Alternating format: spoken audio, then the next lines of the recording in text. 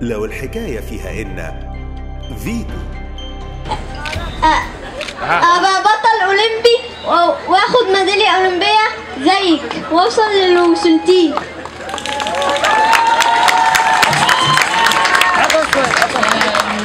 شايفك إيه؟ يا أحمد هو مشوار طويل. يعني أنت لازم تبقى لازم تجتهد أول حاجة وتثق في ربنا وفي نفسك. وتثق في المدربين بتوعك والنادي بتاعك ان أنت تقدر توصل إن شاء الله. وتتعب تجتهد كل يوم عشان توصل للي أنت عايزه. تقدر لازم تبقى في مخك على طول. لا أنا هقدر أوصل للي أنا عايزه وهبقى اللي أنا عايزه.